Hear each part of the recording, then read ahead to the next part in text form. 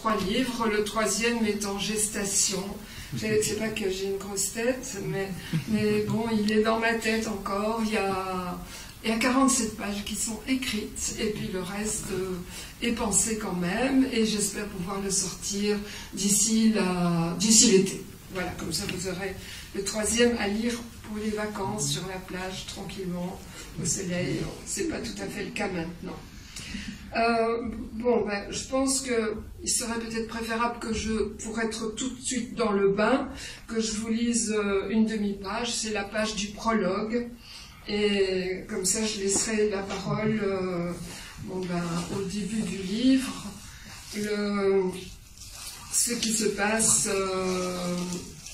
ben, c'est que nous allons découvrir, comme dit Charles Aznavour, mais je l'ai paraphrasé, c'est un temps que les moins de 1000 ans ne peuvent pas connaître, et je pense que ça concerne ben, la plupart d'entre nous, à moi qui ai, de, grands avatars ici, mais je pense que voilà, il faut quand même se mettre dans un certain bain, je vais dire. Bon, je chausse mes lunettes.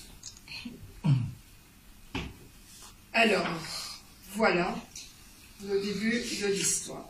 Par une nuit glaciale de l'an de grâce 1088, jaillit de terre une abbatiale immense. Elle était issue d'un rêve, ou plutôt d'une vision, car un illustre habitant du ciel l'avait inspiré, dit la légende, à un obscur habitant de la terre. Elle prit racine dans un petit village de Bourgogne, au lieu dit Cluny. Pour la guider dans sa croissance, des hommes partirent sur les routes de Champagne, d'Ardennes et de Lorraine.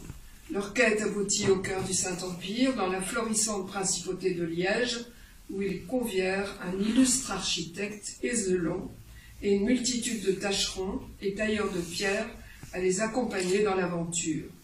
Au cours de ce voyage, ils traversèrent des lieux chargés d'histoire et comprirent que l'on peut se déplacer dans le temps autant que dans l'espace.